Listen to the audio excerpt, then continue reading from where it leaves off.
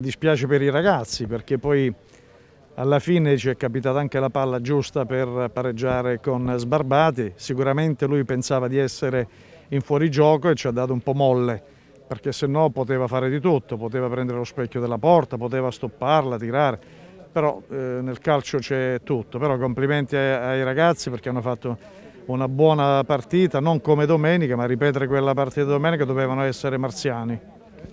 si, si chiude questo, detto, questo miniciclo di partite, soddisfazione comunque in casa Castelnuovo per quello che si è riusciti a fare al, al primo anno in Serie D. Sì, ma proprio l'anno 2020 è stato positivissimo, sia per quanto riguarda la vittoria del campionato di eccellenze, sia eh, cercare di fare un buon campionato di questo. Quindi sicuramente è stato positivo, complimenti ai ragazzi, alla società, alla, al territorio e sicuramente gli daremo anche ancora delle buone soddisfazioni.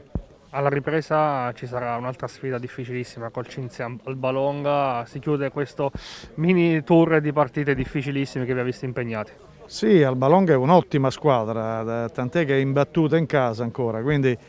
eh, conosco qualche giocatore, è un'ottima squadra,